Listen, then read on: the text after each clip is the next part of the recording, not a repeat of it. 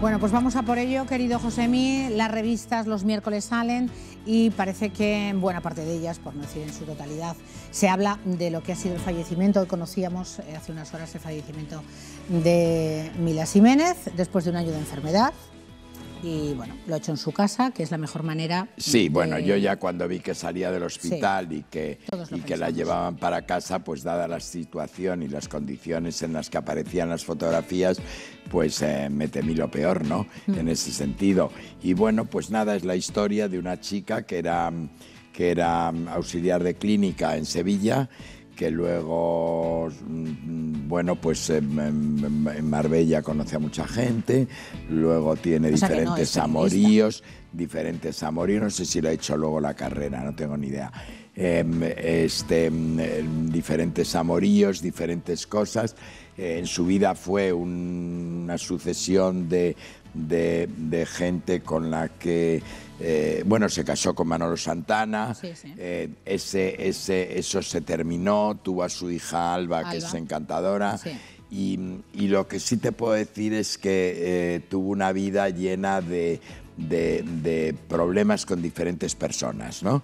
Con diferentes personas, con, con, Encarna Sánchez, pues pasó de una amistad tremenda a un odio atroz y como todo eso, pues con, con todas las, las, las, de Marbella, todas las de Marbella. Y bueno, pues em, yo no quiero extenderme más porque podría a lo mejor eh, escribir un libro y no es momento de hacer, de hacer esto. Esto ya la historia la, lo juzgará. Lo juzgará. Ella ha triunfado al final en televisión con ese programa en el que estaba y bueno, pues nada más, pues siempre es una pérdida eh, una persona que fallece y punto. Bueno, pues eh, si así lo recogen en lectura, semana, 10 minutos. Hay, que decir que todas estas revistas, incluida, incluida Lola, eh, Lola mm, calcularon por horas lo que iba a suceder. eso te iba, porque te iba a esta mañana cuando yo cuando yo mm, vi las revistas y, hablaba con Madrid con, con Rosa Belmonte, con la que hago el programa de, de Onda Cero, eh, dije, pero vamos a ver si parece la última, la última noticia y todavía no ha pasado, nada. Y luego, de, tres horas o cuatro más tarde, pues ya se había dado la noticia. O sea, estaban muy que se ha adelantado un poco. Eh, eh, la revista sin decirlo. efectivamente. Mm. Bueno, pues vamos a, la revista Hola y a que es la, única revista diferente trae, la portada. La revista Hola trae en portada a la princesa Leonor, a la princesa Asturias que ya es de niña a mujer, porque ya lleva tacones, ya lleva trajes, ya no de niña, en absoluto, no, tiene absolutamente nada que ver, ya está ella colocada en otra, en otra situación. Nos han hecho caso, José. En otra situación, nos han hecho caso, exacto. Nos han hecho caso. Nos han hecho caso. Entonces, bueno, pues viene un reportaje porque ella se va ahora a estudiar fuera y todo esto y entonces bueno pues ya tiene otra otra representatividad y otra cosa que es lo que, está guapísima tiene que hacer. Está ideal ideal ideal de mona ideal de guapa pues que la vaya muy bien me parece fenomenal. año en Escocia no sé si estará un año fenomenal más, todo esto sí. Y bueno pues la deseamos lo mejor lo mejor por ¿eh? supuesto claro y que llegue a ser reina de España y que lo haga estupendamente y que lo haga fenomenal claro. que es para lo que ha sido que está siendo educada. y preparada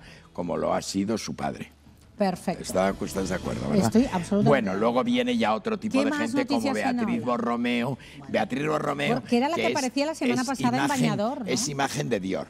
Y entonces esta señora que es imagen de Dior, ahora no se llama imagen, se llama embajadora. Ah. Es imagen de Dior. Y entonces esta niña lleva, esta que está casada con el hijo de la princesa Carolina de Mónaco, lleva un traje de Dior que si algún día te apetece hacerte algo igual, no hace falta que vayas a Dios.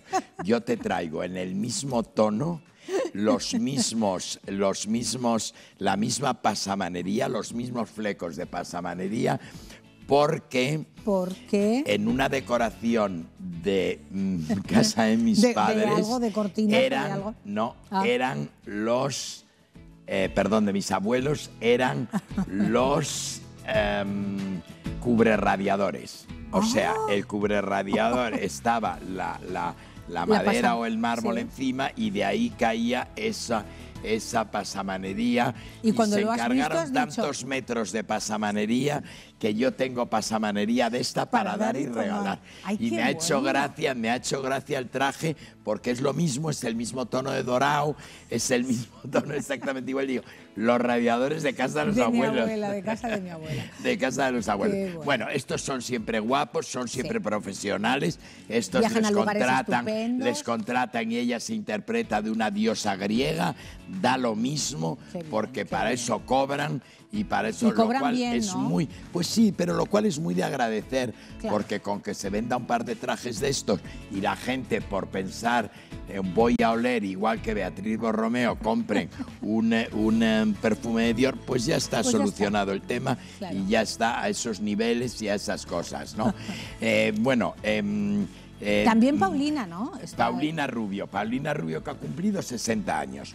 Paulina Rubio sale con un traje todo lo contrario. Mira, el traje de Paulina es todo lo contrario a lo de Beatriz Borromeo. Es horroroso, es como una especie de store veneciano de, de, de, de un espectáculo de, revista. De, cabaret. No, no, de no, no, de revista del Teatro Martín en Madrid en los años 60, 60, 70, cuando llegué a Madrid. Igual, igual. Una cosa horrorosa.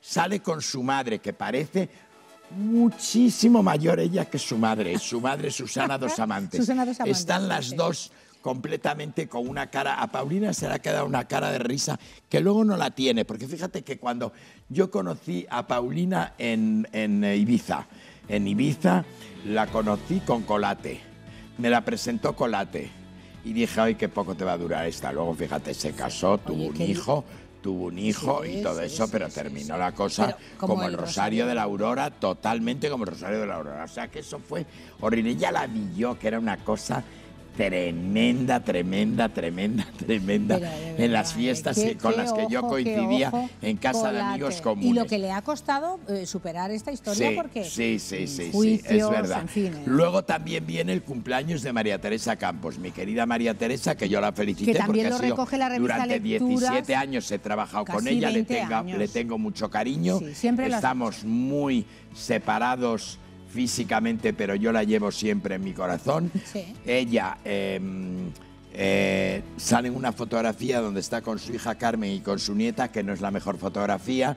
Mm, a ella le ha crecido el pelo y, lleva una melena como de 18. no sé si es, que la peluquera le dijo, que parece una eh, pareces Farrah Fawcett y no eres Farrah Fawcett, eres María Teresa Campos, una persona con categoría y con todo esto, aunque ¿eh? no la resta absolutamente nada, pero ese pelo no, no, no, no, ese pelo no se puede, no se puede tolerar, pero bueno, ella ha celebrado una cosa muy, muy, muy íntima, muy íntima, sus 80, un almuerzo un almuerzo de sus 80 años en la casa esa que se hizo, eh, que fue, mm, eh, fue causa de, un, de una separación o de un divorcio de una pareja suya. De, de Arechavaleta. Ah. Félix Arechavaleta le dijo, no te hagas esta casa ahí, María Teresa, no te hagas ahí esa casa, María Teresa. Y María Teresa contrató a otro arquitecto y ahí se terminó la historia. Y quien te diga lo contrario, eh, miente porque yo he sido mm, testigo de todo eso, de toda esa, esa historia en la vida pues de estas está dando más de un disgusto, no solo la separación luego, Luego hay una cosa, hay una cosa, bueno, felicidades María Teresa, porque yo la sigo queriendo mucho, aunque no esté muchas veces de acuerdo con todo lo que, lo que se haga alrededor de ella, etcétera. Bueno, a mí lo que me parece maravilloso es que de repente tú te encuentres que aparece un hijo tuyo, ¿no? El caso de Carlos Baute. Ah, y te dicen, papá, papá, y no, yo este niño no conozco, yo este niño no sé nada, yo a la madre del niño no tengo ni idea tampoco quién es, este niño no es mío, no es mío, no es mío, no es mío, no es mío. Pero luego vienen las circunstancias de la vida. Y entonces, después de las circunstancias de la vida, él se casa, él tiene niños y de repente aparece me imagino que ha seguido apareciendo, ha seguido apareciendo el niño y entonces es un clon, un clon, un clon, un clon, un clon. ¿Y cómo solucionamos el tema? Con exclusivas y con cosas diciendo, ay, 31 años después me he dado cuenta que eras hijo mío. Bueno, vamos a ver. No es maravilloso. Bueno, bueno, es, deprimente, es deprimente. vamos a ver. esto porque es, espectacular. Lo que puedo decir, eh, que hubo unas nubes durante todo este tiempo y gracias a Dios ya esas nubes no existen, tenemos ya tiempo con la relación. Eh, no voy a contar más porque al final es algo muy privado, pero estamos muy felices, tanto él como yo y la familia. Es adorable, o sea, estamos felices. ¿Estáis recuperando el tiempo perdido? Lo vamos a recuperar, es complicado, pero lo vamos a recuperar, claro que sí. Eh, eh, le escuchábamos. Le escuchábamos, 31 años después han hecho a la vuelta de 31 años, judiciales, han hecho reclamaciones. es una historia de estas, como te diría yo, como la del cordobés. ¿Sabes? O sea, es que hay cosas no hay que ninguna se duda, no hay peso. ninguna duda, no hay ninguna duda, pero en, un caso las circunstancias familiares no te permiten o te obligan a no reconocer bajo supuestas amenazas de como, tal yo desaparezco y cosas de este tipo, ¿no? Y, y, otro, en este caso, que de repente se ha dado cuenta 31 años después, 31 años que no se ocupa del hijo, 31 años que le han hecho la vida la vida imposible a la madre del niño. Vamos a ver, por Dios, no se puede salir con esta cara dando esta lo que explicación. No te gustaría que te hicieran. Además es que no. efectivamente el niño esto es, esto el, bueno, ya el niño no, esto es impresentable años. de todo punto. Es esto es impresentable. Absoluto. Es igual. Es claro, claro es que es, sí, es, que es igual. exactamente igual. Oye, eh, Guillermo de Inglaterra cumpleaños con polémica, Josemi. Guillermo a, de Inglaterra. Sí, Guillermo de Inglaterra.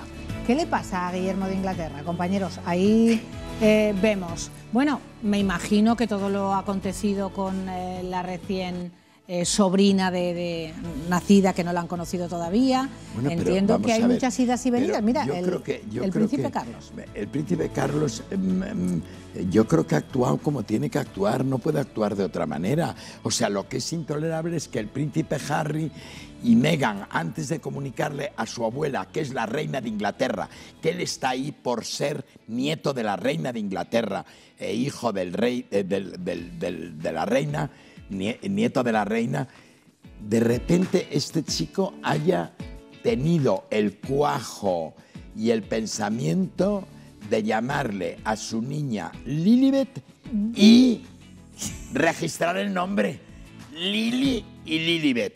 O sea, ya como una marca. O sea, tenemos una niña que va a llegar con un pan debajo del brazo, pero por si acaso la familia no, no, no, nos, no nos ampara como tiene que ampararnos o como debe ampararnos. Y con este montaje de América, esta señora que tendrá un contrato, no tendrá, pero eso se terminará acabando, porque desde el punto en el que esto está así ahora, desde el momento en que deje de tener noticia, dejan de interesar o de que empiecen a aburrir terminan aburriendo. Pues a mí me parece que es impecable el príncipe vamos, Guillermo de Inglaterra y su mujer eh, Catherine. Bueno, ¿cómo está de estupenda? La reina. La reina. Bueno, están en, Está... están en las carreras de caballos de asco toda la familia. Maravillosa. Estupenda. Bueno.